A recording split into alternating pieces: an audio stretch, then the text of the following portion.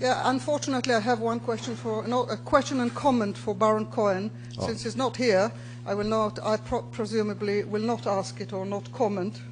But uh, I, I, just to uh, just to say that in addition to genes and uh, environmental inputs into uh, into this type of trait, it is very likely that there will be also transgenerational epigenetic inputs because we find them in in other in other cases uh, of uh, when, when this thing has been sought. But my other question is for one who is here, and this is uh, to Dr. Uh, to the last speaker.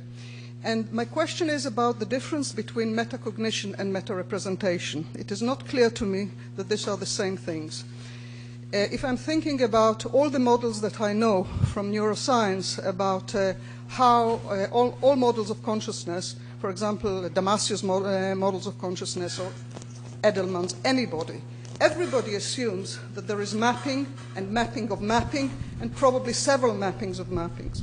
So, the, so that there are meta representations, whether or not you are talking about a human being which is fully aware of its thoughts, or you're talking a very, very simple kind of uh, conscious states, such as just feeling hunger or feeling pain and things like that. So it is not clear to me why you are confounding these two things, and why is it that a mapping of a mapping is a way of the brain thinking about them itself. It seems to me like you are mixing metaphors. Um, yeah, I didn't have time to uh, get into that important uh, question. I don't think I'm mixing them up, uh, but there's an important difference between a redescription, of which the, you know there's indeed many many instances in the brain, and if you take any simple connectionist network or any feed-forward pathway in the brain, indeed you can think of uh, each layer as redescribing and so meta-representing, in a sense, uh, the information that's on the, on the layers below. Um, that doesn't count as a meta-representation in a sense. Uh, it's, it's a mere redescription. Um, and I'm still trying to sort out, and we ran into this uh, instantiating or implementing the models that, uh, that I've described. One important thing is um, for the redescription to be somehow independent from the first order causal chain. Yeah? So these redescriptions, when they play a meta-representational role, need to be not embedded in a first order causal chain, like it would be the case for one particular layer in the visual system, or one particular area in the visual system, or one particular layer in a long chain of uh, you know, layers in a connectionist network, but to sit outside of that chain so that it can redescribe what the first order chain does independently of what, it, what it does, basically. And then it, can begin to play a meta representational role. But I think there's also a sort of continuum between simple meta representations and more complex meta representations, including all the way to uh, personal level metacognition that uh, characterizes uh, some aspects, at least, of our uh, waking life or conscious life. Um, and and, and forms of representations that correspond in that sense to Rosenthal's idea of higher order thoughts, uh, which are themselves assumed to be unconscious. Yeah? So, so I think there's a continuum between redescription and uh, genuine meta-representation, both in terms of there being subpersonal all the way to personal level, and also in terms of how independent they are uh, with respect to whatever the first order redescribed chain uh, is actually doing. Okay, so our next question here, please. Um, hi, Robin Zebrowski from Beloit College. Um, my question is for Martha. Um, so I want to probably start by saying that you, I agree with your conclusion about the, the animal behaviors that we want to probably attribute to them something like what we imagine they're experiencing. Um, but you also say it's an empirical question, and when we, when we have other data, we ought to pay attention to that. So I'm wondering about the, the data um, on human neonate imitation. So, for example, the fact that an hour old baby will imitate the facial expressions of the doctor. Uh, sticking out his tongue, the baby will stick out his tongue as well. Um, and so it seems as though the, the claim about the, the, the horses dancing or whatever it was, the, that, that they must have an analogy from their body to the body of the teacher. Um, babies, I don't think, have that analogy from body to body. I think there's something much more much less cognitive going on in that case. So I wonder if that neonate imitation stuff problematizes the claims you're making. There's, there's quite a large um, uh, amount of stuff written on imitation, as you probably know. um, the, the, I, I think what has probably happened in the case where we are using it is that the animal has learnt that if I lift my leg, he lifts his leg. Um, so it's a stimulus response. But on the other hand, he does that much more frequently than shaking his head or wagging his tail or something. So, all of which we've also taught.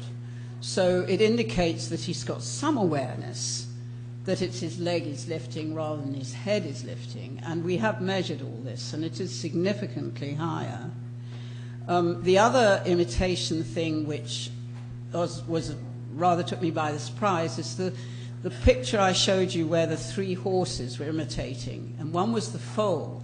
Now, the foal had never learnt to do anything of that nature, but the other two had, and they were doing it because I was doing it. But the interesting thing was the foal did it too. And that really took me by surprise. And one of the things about imitation is that if it's a novel act, then it is probably something that they are actually really imitating.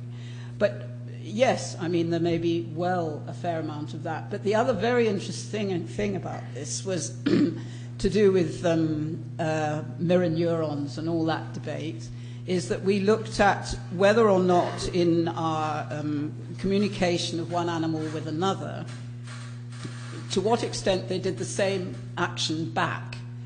Now, obviously some that inevitably they will do the same action back, that if you're tusking each other, you're both tusking.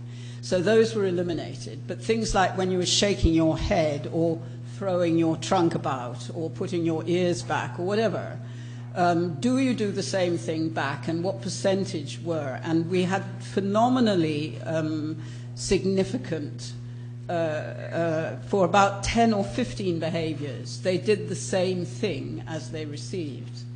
Now, why?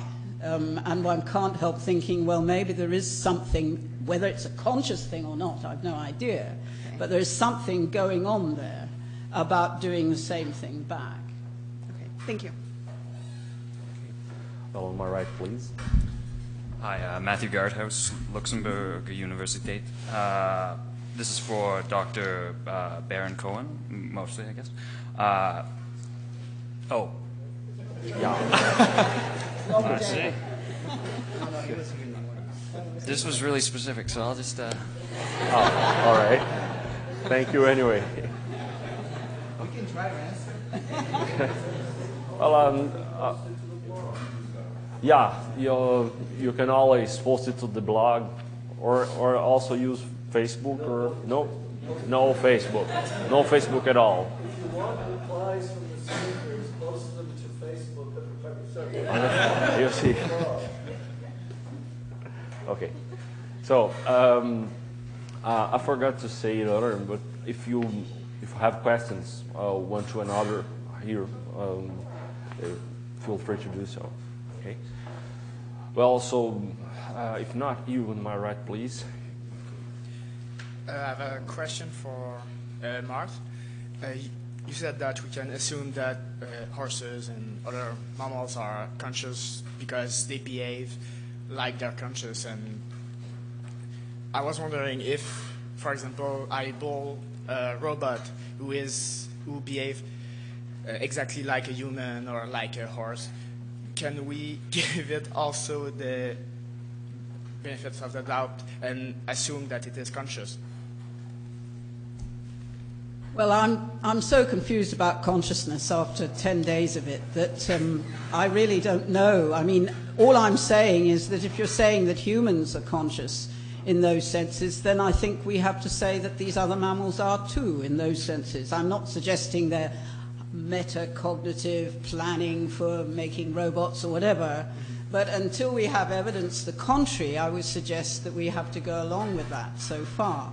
But whether anything is conscious of anything, I'm now beginning to wonder. Except for me, I do know that I am aware and I'm feeling. Exactly. So back to old Descartes. Thank you. Thank you. Please. Uh, Felix, Université Montréal. I'm- have a question for uh, Professor Alfred Mele about the Libet experiment. So my question might seem uh, a bit naive because I don't know much about this kind of experiment, but I'm wondering if uh, someone uh, uh, has ever uh, uh, attempted to see if there's a way to to to what, see what's happening in the EEG signal at, at the time where the, the, the person reports not when she the person reports that she has made a decision, but at the time. Anyways, you see what I mean? When she thought that she made the decision. Oh, sure. What happens to EJ at that time? Yeah. Is there somehow something to see? Let's see if this is working. Is it working? Sounds like it. Yeah. So, the reports, of course, are made after the wrist flexes. And the average time of first reported awareness is about 200 milliseconds before the muscle burst. And remember, the uh, computer is triggered to make a record of the preceding second of brain activity by the muscle burst. So you can see what's going on at 200 milliseconds. Yeah. Um, is there a, a pen here? I can just Yeah. draw it. Now, remember you have to average over 40 trials. So Yeah. This is an average thing. Yeah. Um, so this will be zero, and this is minus 550 milliseconds. I can't draw it all, but it looks something like this. Uh, starts off like this, and it ramps up like that, and 200 is about here. So, you know, you're, you're getting a ramp up. Yeah, but uh, you know it's uh, it's EG. So how do you how can we know if there's uh, co- a component uh, at uh, minus 250? So we say that the, the we say that the, the we say that the RP the readiness potential is beginning at at uh, minus 550, and then we infer that since it's uh, it's growing at uh, kind of bit linear. I don't know if it's linear. It's it's hard to see like that. But we kind of infer that there's no component at minus 250, which is uh, we, there's no way to know in an EG if that's true. Yeah, no, exactly right. So you that know- might- You don't know if something very special is happening right here. Exactly. So the special thing seems to be the ramp up, and then uh, Libet said, well, that must be where the decision is made. But there are all kinds of problems with that. Um, you know, if I'm watching you do something and I know what you're about to do, so if, for example, a, a red light is flashed, you're supposed to move your left hand, or uh, a green light is you're supposed to move your right hand, and I know that, and I know when you're going to do it, and they're taking EEG from me, and we do it 40 times or so, we get a signal that looks sort of like this. Uh, what that indicates really is that this is representing something like motor imagery, could be motor preparation. It's something pretty generic. Uh, and it's a mistake to think it's representing your own decision at this time. Yeah, so there might be two different components, one for the decision, one for the the motor uh, thing. Anyways, Yeah, and you might not be able to pick it up with EEG. In fact, you know, it looks like you can't. Um, people use fMRI, but it's much slower. There's a group that's that has uh, access to epilepsy patients, so they have open skulls for diagnostic purposes. They use electrode grids. Uh, they get better readings, and after a while, they can get single trial readings too. Um, but even then, there doesn't look like there's any magic moment. Yeah. Thank you. Um, this is more of a, a request for the panelists to discuss how they place consciousness in a particular scenario. Um, and the scenario is uh, practice by experts. Um, and what I mean by practice is take the example of a, a musician, where a musician is practicing something and critically listening to what they're doing and adapting then the way that they're functioning, but they're using behaviors that are highly trained, partially in deeply encoded, so partially subconscious because there's no way they would do all of that consciously, while still addressing and manipulating their processes at an expert level, which is sort of uh, with a sensitivity beyond that of uh, an amateur. Um, so where in that process of self-study and control and adaptation is consciousness active in your sort of respective ideas about this? Um, I don't really know. Uh, what, I, what I get from your question is that, and this is well known in expertise, uh, expertise involves chunking. This is an idea that we owe to uh, uh, Newell and Simon back then, uh, basically. And so I think that when you learn any sort of complex behavior, most of which uh, involves sequential actions, uh, what happens is that some bits of it gets compiled at some point, so to speak.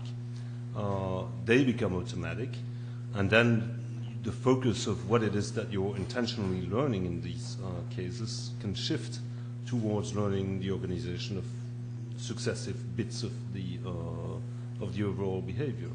Uh, so if you learn a complex athletic skill, maybe you'll practice up until the point of automatization some components of the movements that are required to execute uh, the entire, I don't know, uh, dance, for instance, or uh, complex series of movements required to, to perform athletics uh, and so on and so forth. Likewise for learning to play the piano or something like that. So I think that you know, you sort of shift towards higher and higher levels of uh, conscious organization. We're, we're trying to look at this in, uh, in an experiment now that replicates uh, Seibel's 1963 uh, task, which was the basis to document the uh, power law of learning. Uh, and that involves a 1023 choice reaction time task.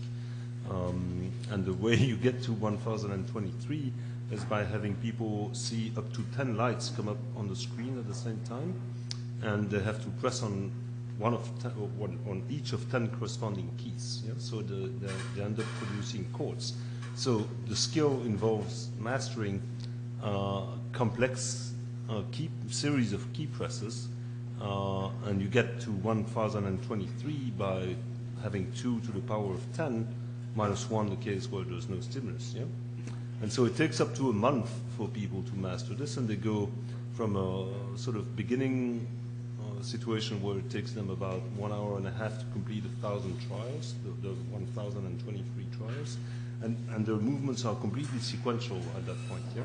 So they press each finger in sequence. Sometimes they, they get they get it wrong, so they have to lift that particular finger again. And it's difficult, and so on and so forth. At the end of that month, they can do this in 20 minutes and it's all, you know, completely automatized uh, parallel sequences of movements. So as they learn this skill, the focus of their expert attention, so to speak, uh, goes from programming these individual move movements to uh, programming entire, you know, sub packets of movements or chunks of movements and so on and so forth. I don't know if that answers your question, but. Uh, um, so what is the status of what it is they're doing at that point? Mm-hmm. Well, it's a mixture between portions of uh, aspects of the uh, behavior that are automa automatic Mm-hmm. uh, and uh, the involvement of conscious attention then and conscious monitoring in combining these uh, automatized uh, chunks. But but what you've described sounds like just a very slow machine learning process. Yeah, and? So that doesn't include consciousness. And? So that doesn't necessarily include a conscious process. I think one reason why I'm interested in looking at, for example, a, da- a dancer's movement is in the process of learning and chunking these particular um, motions, say, there's then an opening for more access to control over what's going on and a sensitivity that is growing out of that that then allows for a whole range of other possibilities that aren't accessible prior to developing those those chunks. Okay. But that only comes with the sensory feedback and and the, the paying attention to the Okay. process within um, the growing expert. All right. Again, I'm I- not sure. I don't know no, how no, that again, task would sure, come into that. Uh, one, one state that I find particularly interesting is this uh, flow state, yeah? Uh, that true experts at uh, doing something report, where the subjective experience is one of observing yourself carrying out the behavior.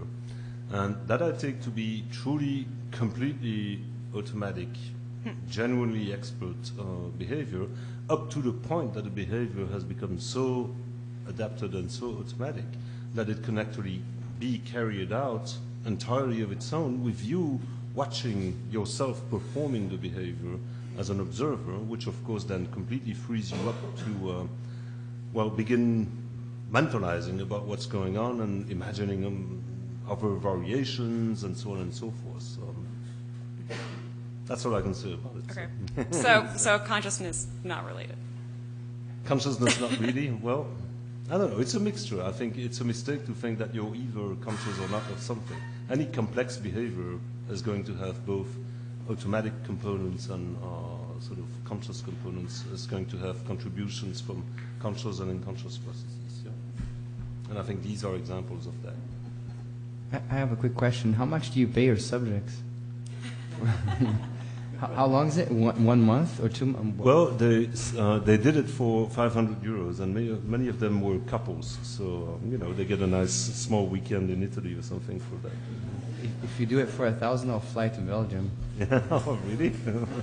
You're that cheap? Well, um, as a very simple minded ethologist, I think you're talking about habits, aren't you? Um, and this is rather important in my line of business to establish the right habits and then see if they will continue thereon so that you can teach a more complex thing on top of that, which is what playing your instruments are.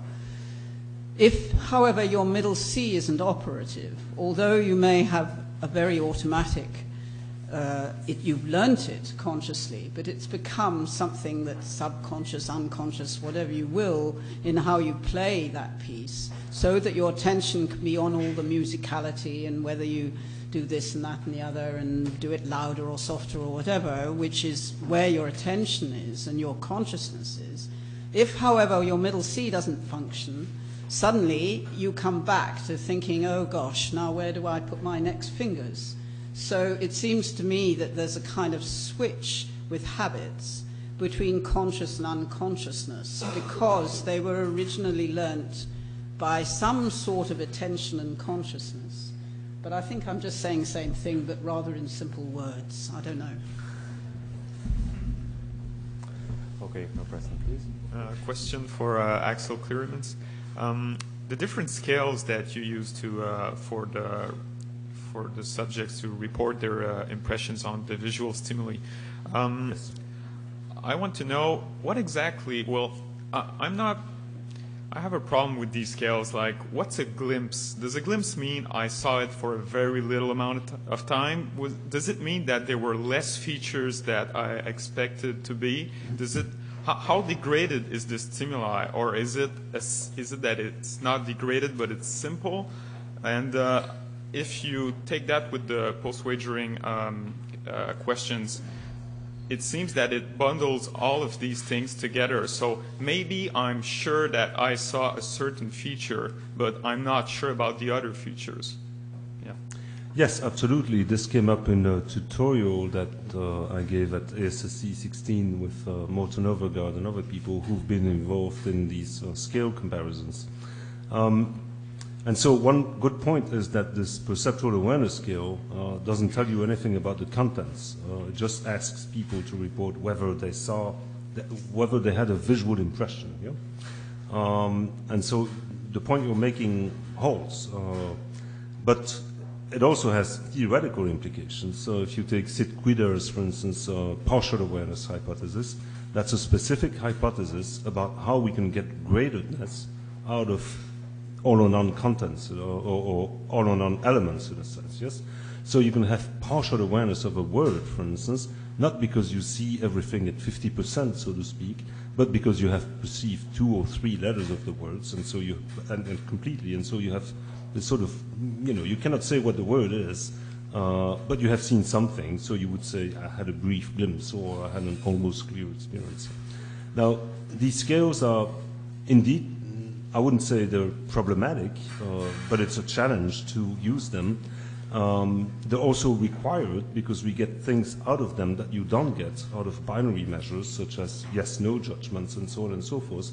And over the past few years, we've looked into these scales in, in, in some detail, and comparing them is very interesting because it, it helps us understand um, how to characterize people's experiences in these uh, visual situations, for instance, with a little bit more of, uh, precision and acknowledging the fact that uh, some of these contents can be graded. So it's an ongoing work. Uh, we have one paper that compared those three scales. There's now another that just appeared, I think, in consciousness and cognition, comparing different scales in a completely different domain that has nothing to do with visual perception. This is artificial grammar learning with the same sort of reasoning. Let's see what happens when we uh, compare these different scales. Um, and what's interesting to me, minimally, is that you get different results out of the different scales. Uh, which is crucial because, for instance, uh, someone, someone like Dehaene, who argues that consciousness is all or none, at some point in the Sergent and Dehaene uh, paper on the attentional blink, used a fully continuous scale with 100 steps um, precisely to point out that even when you give people the opportunity to express these completely graded judgments, they still report binary awareness. However, we just found that uh, using that scale, people are unhappy, in fact, reporting 72% of uh, awareness in one case and 58 in another. Instead, they just move that cursor to the extremes of, this, uh, of the scale, and they, they, they say themselves they would rather use three or four point scales like Overgaard has, uh, has developed. Now, he developed that particular scale in collaboration with uh, the participants, in fact, uh, some years ago. So he told people, you have to indicate to me what the different degrees of your conscious experience in this situation are. And so some people ended up using seven points, others used five, six, and so on and so forth. And so he sort of worked with everybody, and they, they ended up converging on this four, sometimes three-point scale, basically. Um, so yes, there's challenges involved, but I think these are interesting challenges because they inform the theory. You know? Thank you. Uh, hi, I have a comment and a question for Mark. Um, first, I just want to say I'm very grateful for what you've uh, brought to us today. Um, I was very uh, uh, moved and interested by, by all of this, and um, I really like your stance about uh, the way we treat animals and conceive their well-being and such. Uh, if we have no absolute proof that it is otherwise, we, we're better off. We know it's a better bet considering that they are feeling conscious creatures in, in, different ways. Uh, I think the logic is implacable, but as we've been discussing at some point here, uh, humans are not hyper rational animals, so I think people are just kind of consciously or unconsciously uh, in denial of the possible very bad effects that they're having on animals, and they're just carrying out, uh, sadly but truly, anyways. Uh, and my question is actually about uh, consciousness. Hey, um, you you said at some point, if I'm correct, you said that habits are adaptive because you know the ability to uh, learn and do uh, habitual I mean, uh, actions that are that have become a habit free the consciousness for another purpose, and that's how they are adaptive. Did you say? Did you say it like that? That's the general idea, yes, because once it becomes a habit and you no longer have to pay attention to it, because it's like driving a motor car or riding a bicycle or any of those things, you don't have to think exactly how you're doing everything about it, but you did when you learnt. If you didn't put the brake on just like that, or you kept the, you know, you Yeah. fell off with a great bump. So when you were learning, you had to pay attention to all that stuff. But once it had become a habit, then you no longer have to pay that much attention to it, which allows you to free your attention for other stuff. So if you happen to be a, um, I don't know, a, a, a, an elephant wandering around and um, uh, you, you feel vaguely thirsty, you don't have to think, now if I go left at this tree, I'll go right at that one, and eventually I'll end up at the water. It's kind of a fairly habitual track to get there. And I think that's why perhaps we've got so muddled up with conscious and unconscious stuff with animals, because it's also very often believed that once it's conditioned, then it uh, doesn't require any thought anymore. And most people believe this when they're training, and oh, well, it's conditioned, isn't it? Ha ha. He's going to do it automatically. I programmed the machine. Yeah, like a machine. But of course, he does until such things go wrong. I mean, one example I have is when um, just walking requires a whole lot of stuff. You know, you've got to do this, that, and the other. Now, both me and my filly hurt our legs, I've, and we had to limp to get to A to B. So that brought back to uh, one's attention how one was walking. Because how could she move that back leg without it causing enormous amount of pain? If she did it the habitual way, it didn't work. So eventually she had to learn to hop. So basically, you're, you're taking for granted that consciousness is highly linked to learning, and if uh, I don't know if my logic is impeccable on this, but if if the, the the adaptive function of habits are to be able to free the consciousness for something else, so it would assume that conscience has a an, a, a very uh, adaptive function which is tied to learning, but could also be something else. Well, I think that, but I'm not sure that I could defend it in this environment. um, yeah, I mean, attention and consciousness and awareness, I'm tending to use rather uh, as one kind of thing. It's that you are you're doing you are somehow aware of doing what you're doing, and that's useful to you in that set of circumstances. But it equally can be put into another drawer. Merci. Hi, I'm Juliette, Université de Montréal. My question is for Dr. Cleeremans.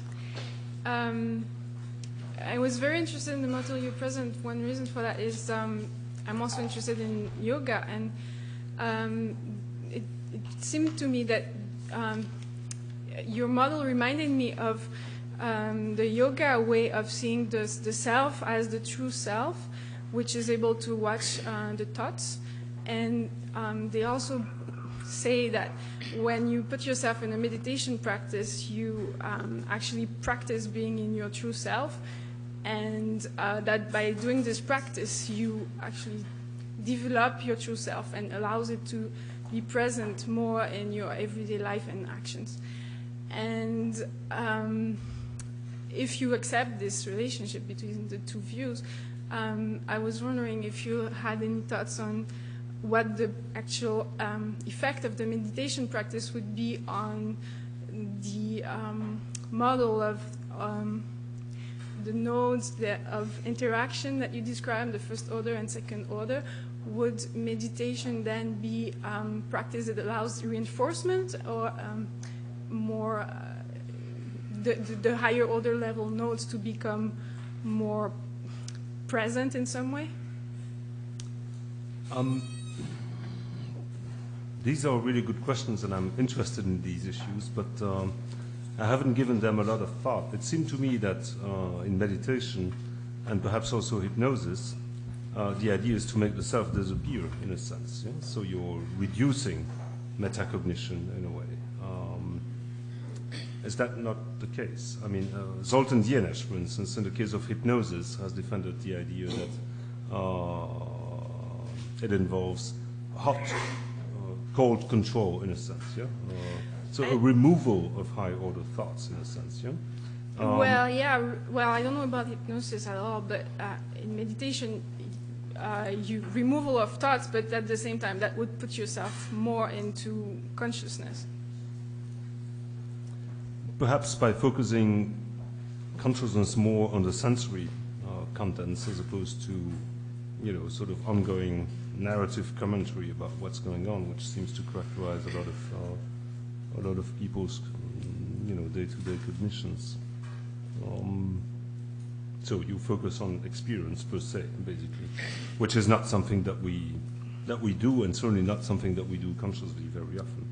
Well, the Um, way I uh, okay, I'm thanks. sorry to intervene, but uh, no, that's just that I don't know if the if you both have the same notion of consciousness here. Uh, you know, the kind of consciousness is talking about seems to me a bit different from your point of view. I'm not surprised. That everybody has his own idea of consciousness.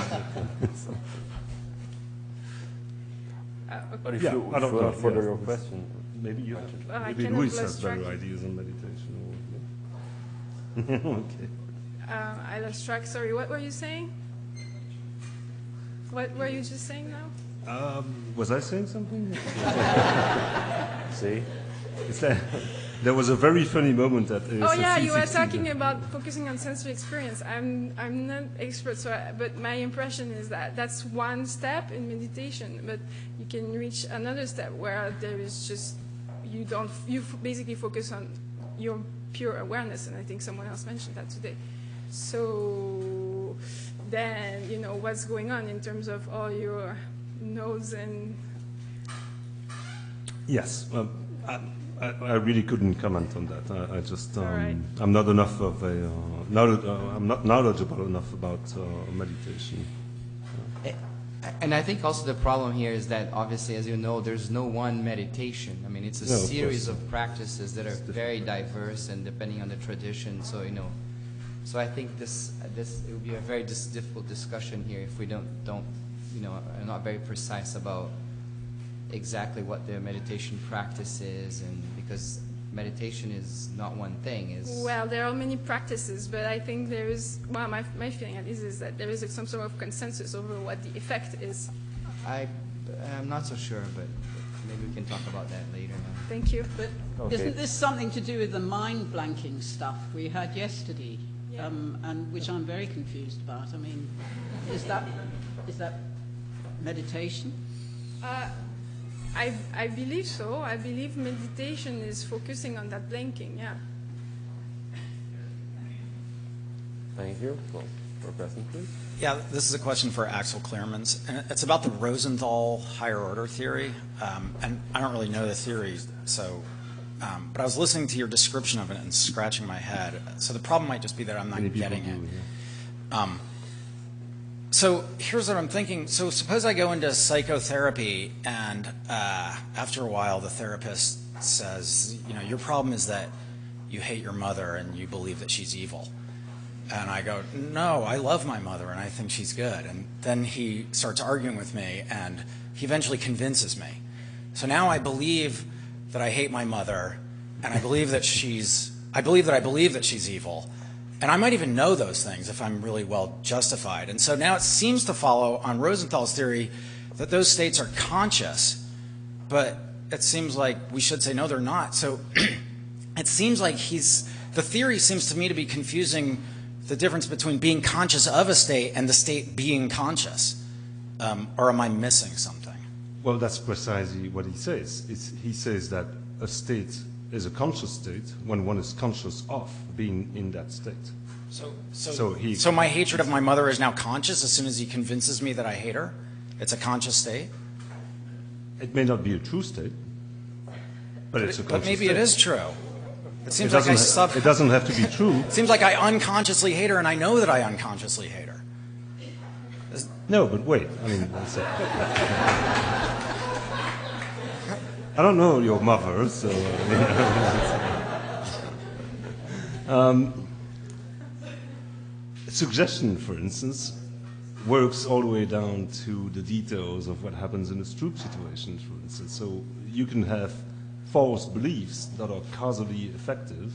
Uh, you can have um, you can have misperceptions. You can think that this uh, dog uh, is, a, is a wolf, whereas in fact it's a dog, and so on and so forth. So, so I don't see. I mean, higher order thoughts uh, do not need to be veridical uh, in a sense. But, no? sir, So- let's just assume that I'm right.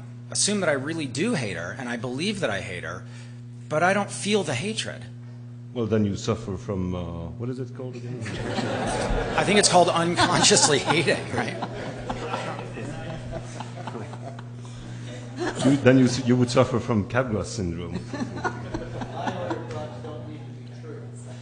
Exactly, yeah. Um, higher order thoughts can shape your perceptions, well, uh, but, but not be true. Uh, that's, and, uh, you, might, you might even argue that that, that is uh, the mechanism for false belief, that is the mechanism for some certain classes of illusions, and so on and so forth. Well, let's talk about it some more. Okay. Oh, this side, please. Uh, Okay, I want to go with, there's a question somewhat earlier about expert performance. uh, And possibly you'd need to make a distinction between an expert as they practice and as they perform. Uh, So there's, uh, I think it was Hubert Dreyfus came up with a scale of levels of uh, performance, which he probably copied from Plato. Uh, But I'll give a couple of anecdotes and then make, the, make a comment that I'm addressing to the whole panel. Uh, one anecdote is back in the mid 70s when I was a sessional instructor at University of Alberta, and one of the graduate students in the department I was in was the Canadian fencing champion. And I asked him one once, well, when you're fencing, you know, how do you, how do you decide what to do? And he said, well, I don't think about it at all. I'm not thinking. Uh, it just feels like I should move one way or move another way or so forth. And then a number of years later, I got basically the same story from a friend of mine in San Francisco who's a very accomplished martial artist. Uh, and connecting this with these different scales of expertise, and I think you said, you know, at, at a certain point, it's no longer, the person is no longer thinking about what they're doing, it's simply happening, and their mind is observing. And, and then I think you made a, made a mistake in saying it's, it's, so it's free to think about this or that or the other thing. And I would say, no, it has to be observing only because there are always fluctuations that occur. And so that observing serves the function of there's a fluctuation, rapid adjustment, uh, like that.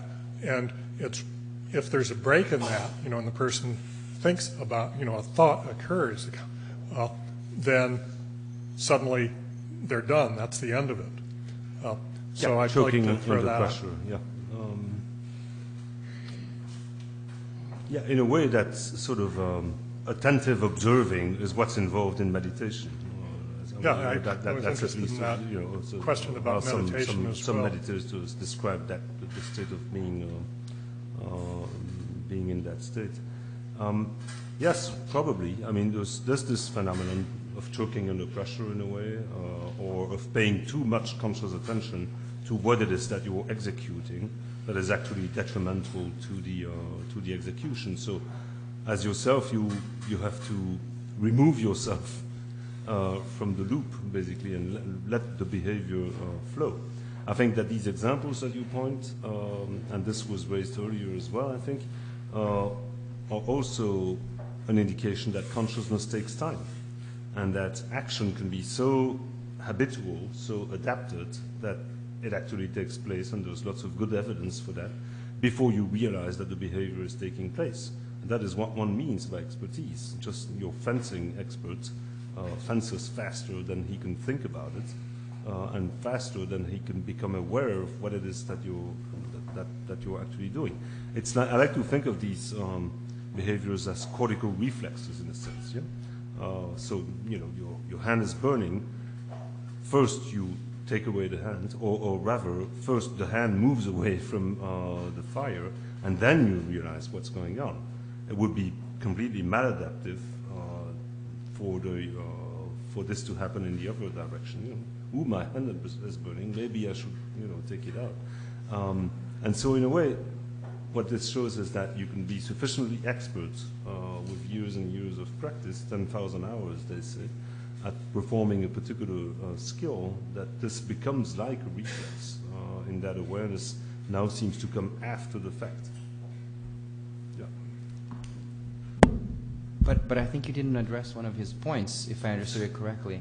Yeah. Which was when you are immersed in that, it, it, it, it's not necessarily that it frees you up to No, no, you know start that. doing mental arithmetic or wh- whatever it is. Because you know if you you know are a downhill skier and are at the, in, in the at the limit of you know crashing, which is what take what it takes to win the race, you are totally in the moment. But it's not like that you start thinking about dinner. The minute that you start thinking about dinner, you crashed. Yeah.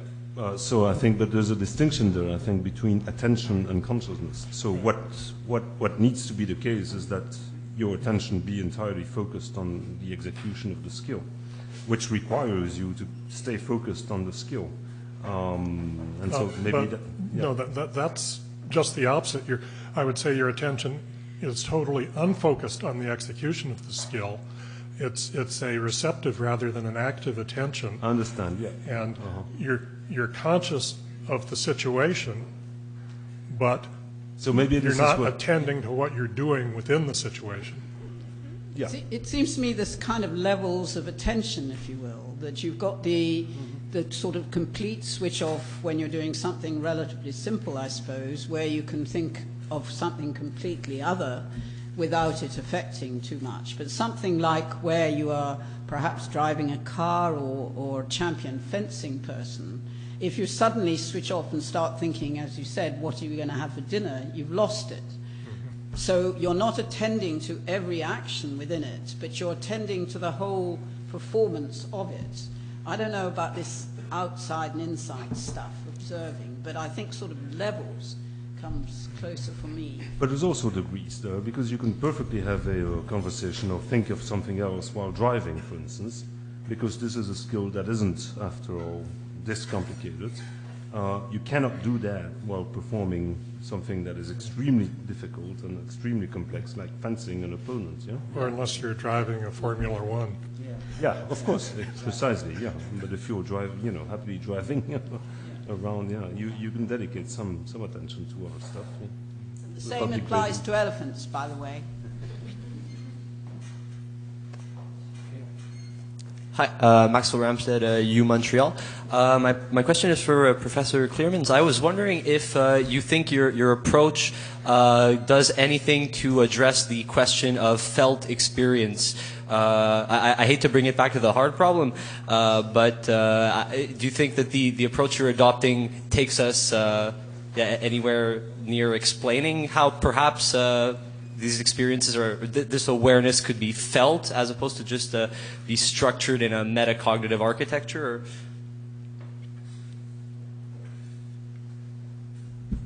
He's multitasking. That wasn't. Oh, was that for me? Sorry, uh, I was.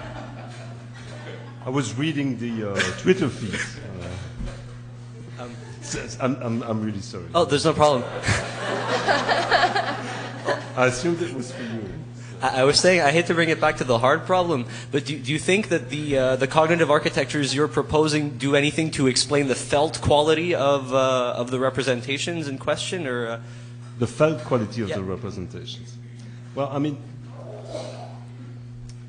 this is extremely difficult. Uh, I don't have a, uh, don't really have a good answer, uh, except what I said in this presentation, which was that uh, the felt quality of um, uh, a representation consists of all the affective and uh, uh, cognitive associations that have accrued with that particular representation as a result of your experience with, with life. And so it seems to me that what defines both the felt qualities as well as the uh, personal uh, character of any experience is, is consists of that.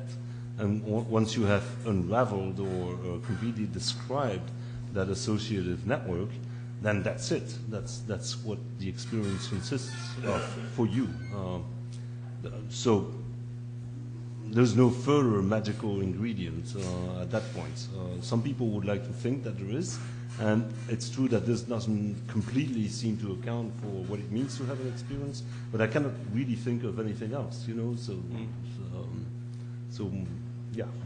All right, thank you. Uh, that and then the, um, the argument of Humphreys, which I also find, uh, find intriguing and interesting, that is this, this idea that what, um, what a perception consists of is uh, subsumed or at least is connected with the motor commands that would be required to elicit that particular uh, perception. Uh, so this internalization of action. Yeah? It's an intri- intriguing proposal as well. Um, I have a question for, oh, my name is Carrie Hoff from McGill. I have a question for Dr. Pessoa. Um, two things. Um, one thing I was wondering about is when you pair a certain stimuli um, with, like a neutral stimuli with uh, shock, like however mild it is, and then you were kind of inferring that that um, the the emotional valence of that stimuli was affecting how um, we have activation in V1 and V2 and so on. Um, I was wondering what kind of experiments were done to uh, rule out whether that shock just makes that stimuli create um, induce more attention. So even if you rule out the trials where the shock was actually given, maybe the the person just learned to pay more attention when that stimuli came on as opposed to the emotional component of it. And another point was um, you found some individual differences um, in some uh, some subjects saw the masked stimuli, uh, even though the the stimuli, um, the timing was very short. I wondered uh, what was the mechanism for that type of kind of supervision. Oh, oh, okay, so I, I think the first point is that I, I don't think it's very useful to make a, dis, a distinction between, to basically try to exclude attention in itself, because I think it's actually a mechanism by which attention operates. It's just not the typical attentional type of you know, textbook description of attention which parietal cortex or frontal cortex does something. But I do think it's, it is a type of, of attention. Um, I, I think that some of the details uh, we can discuss later maybe, and you can also take a look at, at, at um, the paper in which we, we try to rule out some kind of generalized arousal effect. And so that is actually possible, and that was a, a, big concern of ours. That was just people getting aroused, and that's what it, what it was. So I think we have um, uh, th there's some control conditions in which we look at that and rule out that possibility. So arousal concerns me, but attention itself, I, I view that as one mechanism of attention. The other the other question that you had is is how could they how could some subjects um, have better than chance performance at 17 millisecond condition. Uh, we found, uh, I don't think this has been ever um, thoroughly investigated to, to, the best of my knowledge, but we found subjects that could not detect 60 or 70 millisecond targets. So it's very slow. Most of us will detect it very easily. But we also found subjects that can detect it very, very quickly, very uh, short presentations. So we found a large amount of individual differences. And uh, when I was, this work is, I'm not pursuing this work as much nowadays, but when I used to, to, to describe this work to people, people would like, well, what, what is it that these people differ on? And, and it would be really interesting to pursue that question, but I, I, I have very little clues. And one of them is that in one of our studies, we collected individual measures of uh, trait and state anxiety, and individuals that self-reported being more anxious in general had a trend, you know, it basically correlated with their ability to detect uh, shorter stimuli. But it was really a very small group, and I would in no way be confident unless I, I would replicate that result. Yeah. Okay, I think I'll We'll have time for one last question, please. So I guess uh, my, my, I have two questions if there's enough time, ah. or maybe just one. Uh, so the first questions? Okay. is for Dr. Pessoa. It's an extension of the, the oh, no. previous So then it's two questions, please. so uh, in, um, you, must know the human brain is very lateralized. Most of us have our speech areas on the left. And there are these uh, famous experiments where if you block the view and you show a word either to the left eye or to the right eye, if you show, most people have our speech areas on the left. So if you show a word to the right area, the person can tell you they saw the word and what the word is. But if you show the word only to the left eye, the person cannot tell you that they saw it. They'll say that they didn't see a word if somebody has a, a split brain surgery, right? So um, I noticed um, you showed the bold signal for uh, two individuals, one who had detected the stimulus and one who had not. And uh, the one who had detected, it looked like there was bilateral activation of the amygdala, and the one who had not detected, there was unilateral um, activation. I wonder if you've looked at effects of lateralization. Yeah, those, I, I failed to mention it. it. Those are group results, and I mean, I mean, I've done experiments targeting the amygdala as well as other brain regions for a while, and I don't have a good sense of laterality there. And, and sometimes people ask me, and I, I mean, the amygdala is a really tricky image uh, region to image, and all sorts of signal distortion and whatnot. And I, I, I think that uh, many times when you when you lower the threshold, you see both sides, and it's it's hard for me to be, have more of a conclusion. But in that case, it wasn't an individual; it was actually the group. And but I don't have a good explanation or interpretation of, of Maybe that. look if it's left or right side, Matt. That that one, that no, actually that one was uh, it was left-sided. Okay. That was the left side. And, and your second question was? Is there is there time? Yeah. The second ahead, question was for Dr. Clearman. So I was I was struck by uh, your recipe for global workspace, right? Um, which really looks like what we know about cortical connectivity, right? Um, it's a small world network where you have, you know, most things which are close by connected, and then there's, you know, long distance connections. And um, so what we know about sensory encoding is, you know, at the, fundamental stages of processing, you have very uh, simple stimulus features. The cells are very responsive, responsive to simple stimulus features, whereas uh, the further you get away from, the later you are in the encoding, the more abstract or the more complex the cell's responses are. And, and I'm trying to imagine this um, in terms of your redescription, and, and I'm having a hard time really fitting it all together, and I'm wondering if you have anything, say, in terms of the neural, neural substrates. Um, I'm not so sure exactly what the question is about, but um, basically, yes, there's many sensory pathways that involve multiple layers of redescriptions. Uh, I mean, the, one example that everybody uses is the visual cortex, where this organization has been uh, abundantly uh, documented. I, I guess um, the question is, is the redescription a product of those, the, the reverse driving um, stimuli? I mean, is reverse driving the stimuli. So, uh, so you go from V1 to V2, V2, V3, but V3 drives V2 as well as V2 drives V3. And is that is that what you're thinking of as uh, redescription? No. Um, and in a sense, yes. So, I mean, it, it okay, it's late and I'm jet lagged, right?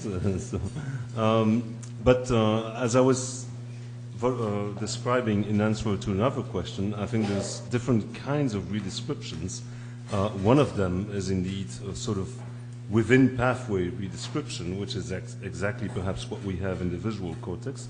And this doesn't preclude uh, recurrent connections at that point as well. So as you say, later uh, areas can drive input uh, to the uh, to the earlier area, uh, areas, and, and likewise contain a form of predictive coding. That's exactly what a number of authors are now proposing.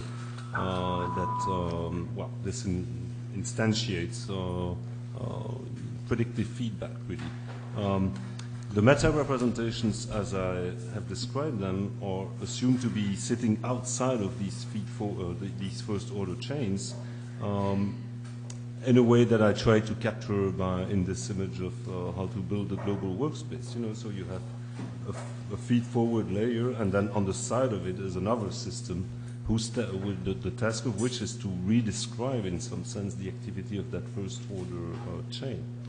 Now, it gets very hairy very quickly because, of course, you also want to have the possibility for that higher level independent redescription to influence in some way uh, what is going on in the first order chain and not merely, as in the simulations that I've very briefly described, read out uh, the state of that first order pathway. And indeed, in the cognitive control computational literature, there are uh, examples of that, uh, of systems that uh, are actually able to monitor, say, the conflict at the level of response units uh, in a simple connectionist uh, network like that, and influence, in turn, uh, what happens in one of several competing first-order pathways so as to correct the conflict, for instance. But, you know, and in the um, meta-representational uh, literature, or at least in the uh, sort of signal detection literature, in the recent literature, there's been discussions of um, um, about the question of finding out whether the relationships between first-order performance and second-order performance is one that involves independent systems, basically. So there's one system doing the confidence uh, stuff and one system actually performing the task, as I've described it, or whether it involves um, uh, systems that are organized hierarchically. So these are very, you know, complicated questions that no one at this point has a, a sort of good answer to. Yeah. Thank you. Thank you.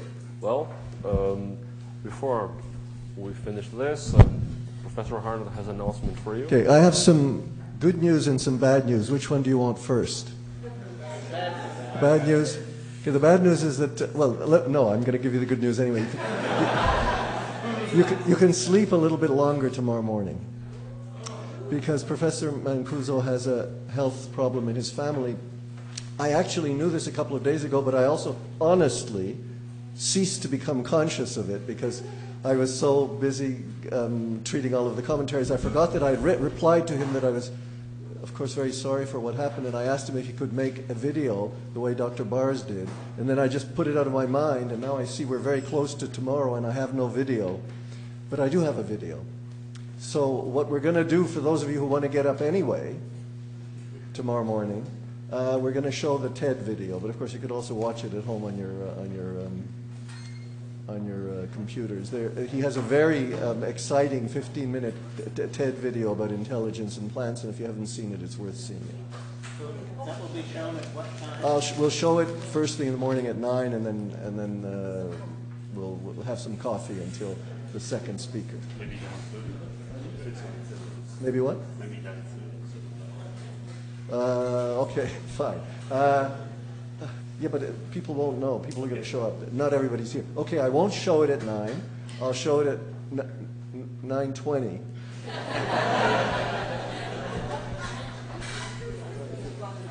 Okay, that's it? Well, thank you, everybody.